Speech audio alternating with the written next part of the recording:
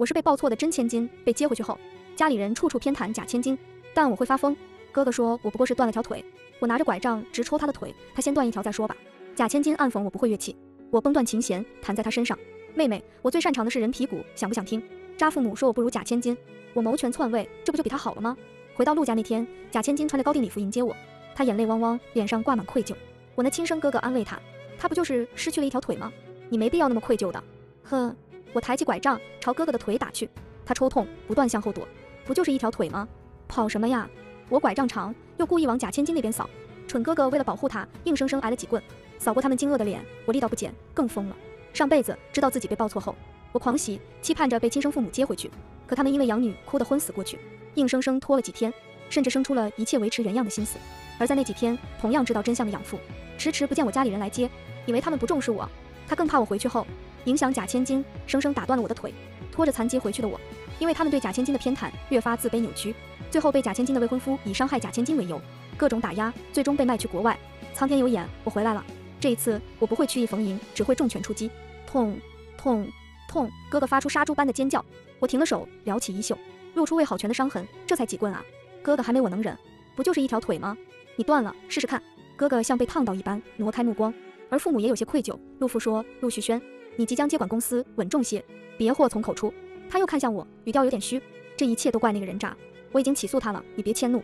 我阴阳怪气，我的好爸爸，你不知道妈妈已经看在妹妹的面上撤销起诉了吗？他说妹妹即将联姻，若是有个进看守所的亲生父亲，不体面。陆父本就大男子主义，听了这话更是怒不可遏，指责陆母自作主张。陆母委屈，我也是为了明月好。刚找到富家父母，就让养父母坐牢，外面的人少不得说他嫌贫爱富、忘恩负义。我翻白眼，掏出手机。在各大平台上隐去关键信息，以陆母的口吻发布事情的经过，最后问一句：我只是不想让我女儿背上骂名，我真的错了吗？我买了推广，视频的播放量蹭蹭上涨，跳出一个又一个评论和回答，最高赞那个是这么说的：你当然没错了，你把脸伸过来给我打两巴掌，请谅解我哦，毕竟说出去，别人还会猜测是不是你做错了什么，否则我怎么会打你呢？为了不让你背上骂名，还是再打两巴掌吧。陆母脸色煞白，手足无措，我不是。陆父叫停这一切，坚决起诉到底。我回家的第一夜，颇不太平。但只是开始，我安静的养伤，时不时卖惨，趁着他们对我还有点愧疚，薅了不少羊毛。痊愈不久，父母给我举办了认亲宴。瞅瞅，有腿和没腿真不一样。礼服是陆父亲自送到我手上的，比陆窈窕的贵。陆窈窕再怎么委屈，他都不为所动。谁让他不想再听外人骂他傻子了呢？他们这个圈里很多事情瞒不住。我的身份虽没公布，但该知道的都知道了。几个二世祖甚至摸到某音吃了瓜，事情传得更广。好几位圈内人上赶着和陆父做生意，实则给他挖了好多坑。就想看他是不是像传说中的那么蠢。陆父气得不轻，他需要一个场合证明他的英明神武。于是，不管那几个蠢人愿不愿意，都得低头做出一副欢迎我的模样。宴会顺利进行，陆家真千金挺漂亮的，比陆家人聪明。我还以为会被养得畏畏缩缩。据说那个家庭重男轻女，好几次都烧了他的书本，不想让他去读书。可他还是坚持下来了，是个狠人，是 A 大的吧？从小镇考到重点大学，挺不容易的。全场给面子的夸夸夸，让陆窈窕挂不住脸面。他带我认识他的姐妹们。塑料姐妹花们一部分眼底带着探究，另一部分人则带着敌意，不知谁嘴贱，提议弹琴。陆窈窕一曲终了，姐妹团纷纷鼓掌。突然有人提到我，明月妹妹会不会弹琴啊？哎呀，你们怎么那么讨厌啊？明月能考上大学已经很不容易了，哪里有钱学钢琴啊？可惜啊，造化弄人。陆窈窕连忙给我解围，脸上却露出一丝得意，占了我的位置，得了我的资源，就那么得意吗？我轻柔一笑，我的确不会弹钢琴，但我会弹古筝啊。有古筝吗？我给你们露一手。场上的人都不信。古筝更小众，价格也不便宜。在他们看来，我之前的家世，钢琴还有可能有机会摸一摸。古筝，别开玩笑了。陆窈窕的闺蜜道：“不会就是不会，总好过说谎。是骡子，是马，拖出来溜溜就知道了。没有古筝吗？管家，去借一把。”一群人惊疑不定，大部分人还是不信的。陆窈窕更是亲自拿了古筝过来，嘴上还在劝我，让我别逞强。我一把夺过古筝，戴上护甲，在离他最近的位置上弹起古筝。所有人面色变了，玩味、不可置信、嘲讽、欣赏、惊叹，几乎把人的情绪都轮了个遍。古筝许久未保养，大概是替陆窈窕买的，又放在角落里吃灰。琴弦都略微有些问题，但无所谓，我只是一个山鸡，有些瑕疵又如何？最后几个音，我猛地用力，掰断琴弦，把它弹到陆窈窕身上。我抹她一脸血，乐器谁不会呀？我最擅长人皮鼓了，想不想听？陆窈窕吓得花容失色，一个踉跄倒在地上。陆母上前扶她，刚想指责我，就被我捂住嘴巴。我转身对其他宾客下了逐客令，感谢各位来参加我的欢迎会。妹妹不懂事，拿了有问题的古筝出来，让你们看笑话了。接下来我们要处理一点家事了。客人们很懂事，纷纷提出告辞，人没一会儿就走得一干二净。管家贴心的关上门，陆母憋闷已久的怒火直冲我脑门。陆明月，你到底想干什么？我不说了吗？我只是不想让家丑外扬。我做的有何不对吗？我没与他继续废话，转向一脸脏污的陆窈窕。陆窈窕，一荣俱荣，一损俱损，这个道理你在豪门那么多年，难道不懂吗？我知道你不欢迎我回家，但在大家面前，你就不能忍忍吗？他们让我表演乐器，你不阻止就罢了，怎么还拿了有问题的古筝给我？陆窈窕被我问的结巴，眼泪要掉不掉，美极了。可惜我那一番话已经深入陆父心底，他不大舒服，肯定了我的说法。明月说的对，我举办这个宴会不是让人嘲笑我们陆家的。陆窈窕，你不喜欢明月？陆窈窕慌了，忙着解释，但却没人听了，因为陆家的重要人物陆爷爷回来了。轮椅滑到最中央，陆爷爷锐利的眼神转了一圈，落到我身上。明月很不错，我眼底的冷意褪去，换成一层迷雾，模糊了视线。爷爷是陆家唯一一个欢迎我回来的人，即便上辈子我不断让陆家丢人，他也从未厌弃我。他甚至把公司的股份分给我。陆窈窕没有股份，他为此闹了一场，爷爷也不为所动，倒是其余三人心疼他，一人给了一点。他的股份很快超过了我的。上辈子，陆窈窕得意洋洋地冲我炫耀，有股份又怎么样？护着你的人没了，你的股份自然会回到其他人手里的。如他所说，上辈子爷爷死后，他们开始出手对付我，股份回到了他们手上。我压下所有思绪，乖乖待在爷爷旁边和他聊起来。也许隔辈亲，也许老人家看重血脉，我俩很快一见如故。陆母坐不住了，开始挑我刺。明月，我知道你是为了我们家好，但你未免也太大逆不道了。打你哥哥，欺辱妹妹，捂住妈妈的嘴不让。我冷笑，你们犯傻，还不准我用特殊手段。你，陆母气得手抖，你怎么那么不听话？爷爷眼底更冷漠。他瞧不上妈妈的做派，对了一句：“你们十九年都没尽过当父母的义务，摆什么父母谱？”一句话卡住所有人的喉咙，他们讪讪不敢接话。客厅里都是我和爷爷欢快的笑声。爷爷在家住了一段时间，更亲眼看到了他们一家四口对我的冷漠。他私下给了我不少他的私产，这是上辈子没有的。他拍拍我的手：“明月，爷爷总是要走的，你不能总和他们犟嘴，以后护不住你的。”我扑进爷爷怀里：“爷爷，你一定长命百岁。”爷爷拍拍我的头：“傻孩子，如上辈子一样。”爷爷更改了遗嘱，把公司的股份留给了我。但股份从百分之三变成了百分之五，且立即执行。陆母第一个跳出来反对，窈窕都没有。爸，我不反对你给明月股份，但咱们得一视同仁啊。陆旭轩也说，窈窕待在我们家那么多年，早就和亲妹妹没什么区别了。爷爷扫视他们，目光最后落在陆父身上。你也那么觉得吗？陆父犹豫了会，摇摇头，不必。陆母哪肯拿联姻的事情给陆窈窕增加筹码，成功的让陆父纠结了。陆窈窕适时出来表示，爸妈，你们好好的就好，不要为我吵架，能在你们身边，我已经很满足了。善解人意的表现迅速让陆父的天平偏向陆窈窕，我忍住心底的憋闷，想站出来时，爷爷拉住了我。他眸光极冷，你们真是大方。陆旭轩小声嘀咕，窈窕又不是外人。爷爷挥手，他的管家呈上来一段录音，来自陆窈窕的亲生父亲。我跟你们说，我亲生女儿生在豪门，嫁到豪门去了。不不不，是被报错了。那家人对我女儿极好，把她培养得像个名媛一样。哟，我记得你好像就是因为故意伤人进来的。你伤的人就是我那个养女，我怕她回去之后威胁到我女儿的地位，特意对着腿打的。我想啊，即便那家人重视血缘，但亲女儿都残疾了，他们还能疼到哪去？一段夸赞声过后，迎来了那位家暴男最大的恶意。那家人就是傻逼，居然不顾血缘。我那养女回去了，也会被他们厌恶的。到时候我亲女儿能拿到更多，我和他妈晚年就有福了。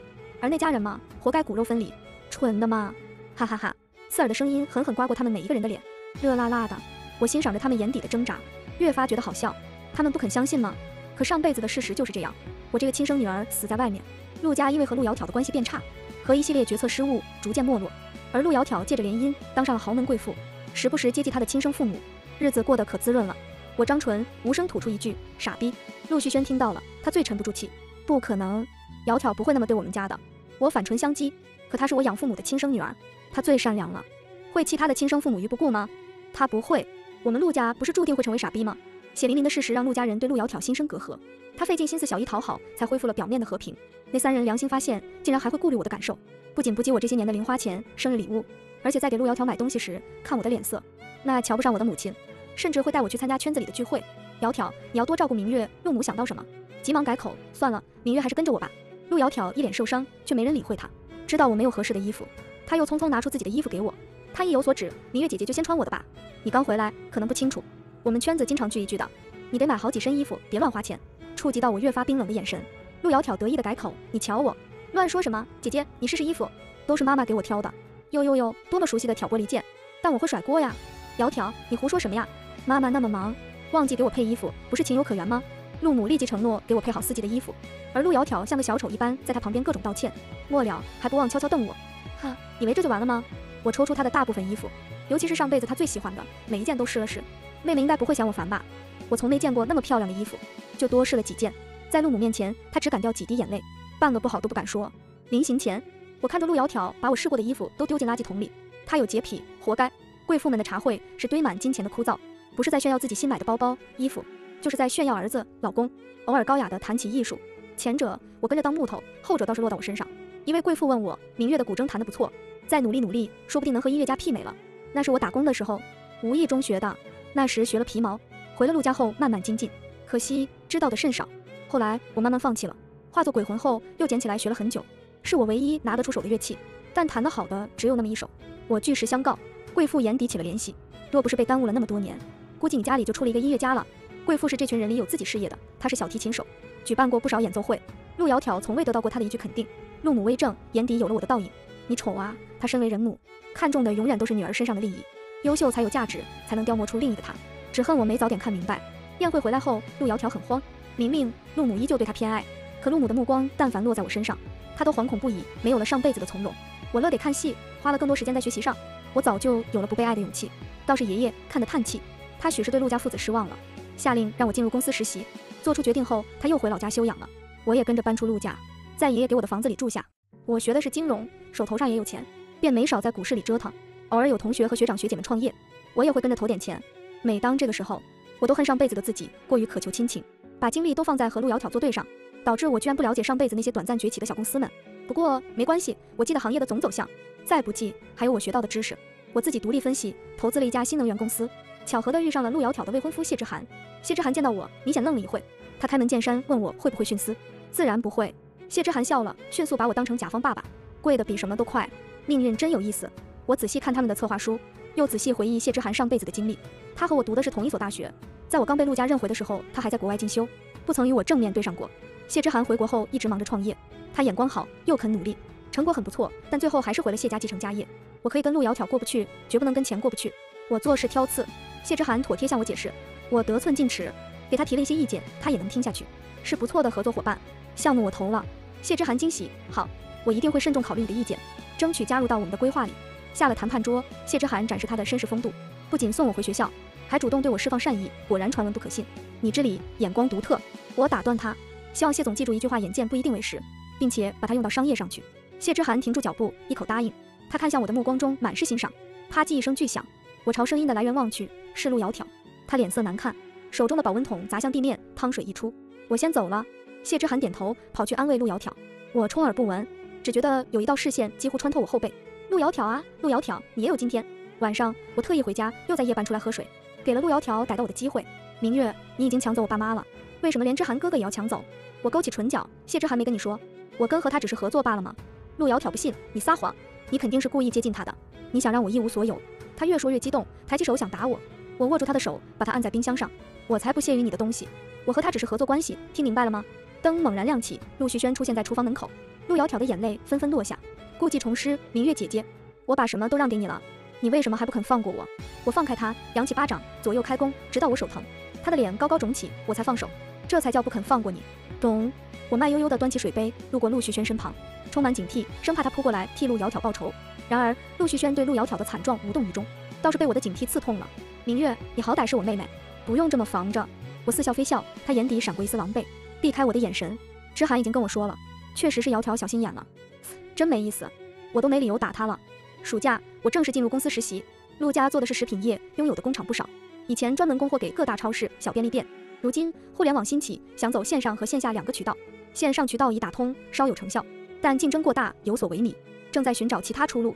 当然，这些都是决策层该苦恼的。而我该苦恼的是公司效益最差的水果罐头的出路。爷爷大概怕我受欺负，没隐瞒我的真实身份。我一进入负责水果罐头的部门，部门经理恨不得把我供起来，不仅把公司这些年发展的资料呈给我，而且拍胸膛保证我只拿打的。我们水果部就靠您了。我眨眨眼，让他出去后给陆父打个电话。不出所料，把我分到水果部门，又是陆窈窕的主意，美其名曰让我去最清闲的部门，不用劳心劳力。我嗤笑一声，真是只苍蝇，讨厌极了。陆窈窕倒是想进公司一起实习，他也来了，但是他前十九年有父母的庇护，有良好的资源，并不执着于让自己优秀，更执着于让自己快乐。他的成绩并不好，成就大多在艺术方向，报考的也是影视学院，所以他来了没几天就嫌无聊走了。他不行，就给我下绊子，证明我和他一样吗？我轻哼，那我偏要做出成绩给他们看。为了更了解水果罐头的行业情况，我特意出差去各大工厂走访。出乎意料，工厂的设备并不老旧。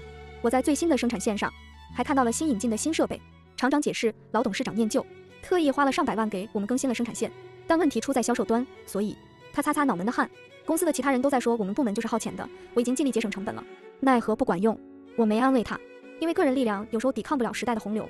从工厂出来后，我又去拜访了合作的各大果园，果农们大概也知道他们的前景黑暗，拼命说好话，只希望合作继续。如果合作无法继续，又要回到几毛钱，甚至几分钱一斤果的时候了，还很可能会卖不掉。陆小姐，求你了！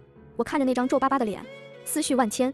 以前看电视剧，不理解主角看农民们困难，宁愿亏损也要继续做下去的做法。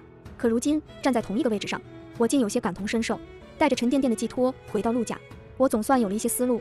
姐姐回来了，陆窈窕亲热地迎上来，我条件反射退后一步，她的笑容顿了顿，接着扩大。姐姐，告诉你一个好消息，水果部门年底就要被撤销了，你不用再忙了，是不是很惊喜？我拧眉，留给我的时间不多了，想做的改进也需要资金。还不知道能不能在董事会那边通过。屋漏偏逢连夜雨，我接到了一个陌生女人的电话，她自报家门是谢之涵的母亲，她通知我撤资，不需要我参加谢之涵的项目。陆窈窕幸灾乐祸，姐姐，这个消息是不是更好啊？我二话不说，再次给了陆窈窕几巴掌。你疯了？是你疯了吧？我没有让你把属于我的位置让出来，你很得意，非要和我作对。陆窈窕眼底闪过一丝欣喜，紧接着又哭出声，又是老把戏，他是觉得很管用吗？我破罐子破摔，不曾回头。耳熟的声音传来，你们干什么？陆窈窕委屈地抓住陆母的衣袖，用春秋笔法说出刚刚的事情。后者朝我看过来，是这样的吗？还会问了？我冷笑，你还是好好管管你女儿吧。说她蠢都侮辱蠢了，她就是智障。好在她不是亲生的，你可以推说是她根子出了问题。话落，我抬腿就走。智商太低，真的会传染。陆母喊了我几声，喊不动，又开始恼怒。她本就偏心，陆窈窕一撺掇，她就堵我门口，非要发挥母亲的威严。直到接到谢家退亲的电话，陆母慌了，追问为什么。可人家怎么可能理她？事情惊动了爷爷，他从老家回来，恨铁不成钢。你们真的不知道为什么吗？陆窈窕恨恨地看我，是姐姐说了什么吗？其他人也猜是不是因为血缘，以及陆家没给陆窈窕股份。爷爷失望，点了点我，让我说，因为陆窈窕还没过门就插手谢之涵生意上的事情。夫人外交在生意场上同样重要，一个只会为了一己私欲破坏未婚夫合作的妻子，谢家要不起。其他人还不知道陆窈窕找上谢母的事，逼问之下才知道真相，一个个骂他糊涂，糊涂。我看是太闲，一家人相互指责，又委屈掉泪。我和爷爷不耐烦听这些，避开了。我趁机向爷爷汇报我的想法。他虽然退休，但在公司依旧有话语权。爷爷格外慈祥，你想就去做吧，我活着就是你的后盾。又一个周一，公司例会上，我呈上我的方案，只保留一条水果产业线，专供给奶茶店。另外，启用现有的冷链车、冷链仓库，主批发水果。一位副总蹙眉：“你疯了吗？奶茶市场哪有那么大？”和他一样，其余人也都不看好。即便我甩出市场的数据，也不能说服他们。用他们的话来说，数据再好，也是别人的。我们没有渠道，不需要在这个赛道上卷。我执意要执行，双方僵着。中途休息时，陆父和陆旭轩还劝我放弃。作为女孩子，你不需要那么辛苦的。我讥笑一声，脑子里盘算，实在不行，我就带领我们部门的人先干，一步步扩宽市场。资金不够的时候，我再拿出自己的钱，总不会有人说什么了吧？幸好谢之涵让我撤资了。说曹操，曹操到。谢之涵的电话来了，他向我道歉，并表示会坚持和我合作。我也把我的状况告诉了他，他尴尬不已。都怪，真的没一点希望了吗？我不想回去继承家业。转机很快来临，爷爷以一己之力支持我，需要的资金全从他的账上出。我得以喘息，钱按照原计划投给谢之涵。陆窈窕知道后难得沉默了，但他没机会再挑事了。他那极品父亲从牢里出来了，他没钱花，可不就想到女儿了吗？他找过我，被我安排的保镖揍了几顿，再也不敢来了，只能跑去找陆窈窕。陆窈窕不得不给他钱，但他手头一向很松，压根没多少钱，拿不到钱的养父怎么可能放过他？各种威胁闹得他不安宁。陆窈窕找我哭诉，我如同上辈子的他一样，附赠一句。他们可是你的亲生父母爷，你不想让爸妈知道你那么没良心吧？他跌倒在地，满脸绝望。我在他身上看到了报应，只是还不够呢。之后我忙着找销路，给水果分级，精进包装技术。一开始一无所获，但后来利用上辈子的记忆，我精准的踩中市场，各类水果茶上市，工厂再次接到相关订单。低端的水果茶用水果罐头，以及次一级的水果，避开了年底被砍掉的危机，预计第二年就能扭亏为盈。当年春节我过得不错，其他人也尚可。也不知道陆窈窕怎么想的，提前进入娱乐圈，更是鼓动家里人给他投资小成本网剧。公司不是没能找到新的盈利点吗？不如试试。陆父被他磨了一会，还是答应了。他没忘了我，把投资网剧的钱也给了我一份。陆窈窕不忿，却也只能戳着范例。年后销量上升，高端的奶茶店也逐渐找上门，工厂再次焕发生机，整个部门都火了。随着奶茶市场的火爆，公司的供货逐渐扩大了市场份额，也带动了公司的其他食品。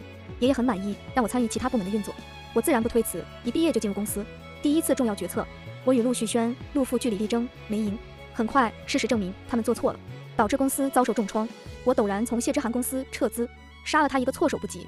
美其名曰要救自家公司。谢之涵又气又恨，下几个决策后也套现走人。第二次重要决策，他们听我意见，却最终决定更保守一些，再次错过了转向的时机。董事会对他们愈发不信任，隐隐有让我坐上那个位置的声音。我替陆家父子压了下去，并快速做出正确决策，盘活公司。公司的新产品需要宣传，经过商量，他们把广告定在一个综艺上。也不知道是谁深谙肥水不流外人田的道理，居然把陆窈窕弄到综艺上了。这几年他也在进步，演了十来部女主，归来还是带爆人。估计综艺是他最近的最好的资源之一了。综艺小火了一把，陆窈窕的热度水涨船高。底下的人大概知道我不太看得惯他，居然把我去慈善的地点和综艺的拍摄地放在一块了。我欣然前往，在一片玉米地里看到了略显狼狈的陆窈窕，他及时避开我的目光。导演故意挑起话题，让陆窈窕来找我进行采访。面对直播镜头，陆窈窕咬碎牙都得过来。请问你干过农活吗？我笑了，当然干过。我养父母就是来自乡下呀。陆窈窕眼神变得慌乱，急着把程序走完。好不容易落幕，导演又走上来，得知我是来做慈善的，顿时话多了，问我有没有什么想和山区的女孩们说的。我思考了一会，说：我希望所有女孩都拥有不被爱的勇气。导演笑容一顿，不被爱的勇气。对，不是每个人生下来就是被爱着的。那并不是我们不值得。永远不要因为不被爱而否认自己。太多女孩因为得不到父母的爱而去渴求一段爱情。更有女孩被父母所爱，就觉得爱才是最真诚的东西。只一段时间得不到爱，就患得患失，怀疑是不是自己不值得了？不是，永远不是。不管你如何糟糕，都要相信那是上天给你的考验。走过了，全世界都会来爱你。明珠上的尘土早晚会被吹散。话很空，在场的一些人仿佛有触动一般，特别是陆窈窕，颇有深意的看了我好几眼。她一直以来都过分去追求爱了。陆家人的注意稍微转移，她就会委屈，仿佛没了爱就没了全世界一般。那你呢？现在的你应该闪闪发光。等着全世界来爱你吧！我轻笑，不，我现在是给予爱的人。综艺片段被人剪辑后传到网上，刚开始一点波澜都没有，后来有人从我的话里得到力量，开始挖我的生平。很快，他们挖到了真假千金的故事，也知道养父母重男轻女并不爱我，而我亲生父母偏爱养女，对我的关心也不够。他们唏嘘不已，拿我的故事配上我的那些话，干巴巴的话竟有了几分生动的味道。视频越来越火，有网友评论：会不会我们把爱过于神圣化了？爱固然重要。但人生还有其他的意义，爱只是调味剂罢了。底下也有人不同意，觉得爱很重要，但大家都达成统一，没有人爱，没什么大不了的，只要自己爱自己，总有一天会有人来爱你。网友的视线渐渐转到陆窈窕身上，说她贪得无厌，还骂陆家人偏心。陆窈窕开了半窍，但依旧习惯性的把事情推到我身上。最疼她的陆母都听不下去了，你只会推卸责任，你什么时候才能长大呀？明月都能稳住公司了，就是因为他，他害得我一无所有，他恨我抢走他的东西，难道就不恨你们偏心吗？什么稳住公司？你们该担心他联姻的时候，里应外合把公司卖了吧？三人目光落在我身上，不自觉闪过防备。我笑盈盈，你猜对了，公司是我的了，但我不需要等联姻的时候，现在就可以。陆旭轩不肯相信，怎么可能？爷爷不会同意的。爷爷从门外进来，目光沉沉。他确实很疼我，但改变不了他骨子里重男轻女的思想。他印象里家业就是由男孩子继承的，你就不能辅助你哥哥吗？我语气温和而坚定，不行。爷爷不想看公司败落吧？爷爷盯了我良久，长叹一声，要做决定了。陆父仿佛预感到了一般，爸。不可以，明月日后要嫁出去的。呵，你以为我拒绝有用吗？他手里已经有公司百分之三十的股份了，公司的其他董事也支持他。你们太没用了。我手里的股份和陆家人的一样，早在公司受重创的时候，我就一点点买下股份，又获得了大半董事的支持。公司早就是我的囊中之物了。陆家人无可奈何，只能接受事实。爷爷主动把他剩余的股份全给我，公司就交给你了。你比他们俩做得更好。我抱了抱爷爷，谢谢他的理解。陆家人大概怕我生气，主动让陆窈窕搬出陆家。也不再给他投资影视，他的资源一落千丈，收入大幅度减少后，他的亲生父母又找上门，让他支付他们的账单。他比之前聪明，居然找了保镖驱赶，那对人渣愈发穷困潦倒。看陆窈窕失意，陆旭轩作为同道中人，和他一起跑酒吧喝酒。我奉爷爷的命去接人的时候，看到他们俩在酒吧前面吻得难舍难分，这是不挑了。我不忍直视，刚转头就听见一声巨响，再回头，陆旭轩已经被撞飞了，杀人了。一片混乱中，那辆面包车又返回来，继续碾压爬行的陆窈窕。陆窈窕躲闪不及，被压到了。好在警察及时赶到，留了他一条命。手术室前，陆父、陆母匆匆赶到。到底怎么回事？肇事者是陆窈窕的亲生父母，据说是要钱不成，还被羞辱，喝醉后前来报复的。他俩机遇晕倒，当初就该把陆窈窕送走的。他是害人精，呵，活该。手术结束，陆旭轩失去了一条腿，肾等器官也重新修补了，以后的日子注定不会好过。陆窈窕高位瘫痪，余生只能在床上度过。听完医生的话，陆母直接晕了过去。养父母被抓了，不出意外，他们会被判好几年。至于陆窈窕，遵照陆父的主意把他送走，医药费都不替他付。我安排好后续，便忙公司的事了。仅仅半年，我那爸爸就因为酗酒、胃出血被送进医院后查出了胃癌。陆母受到不少刺激，精神错乱，都认不出人。时不时就叫我的名字，仿佛后悔了。而陆窈窕死在某个午夜，大仇得报，我举杯敬天空，感谢重生，我一定会过得更精彩。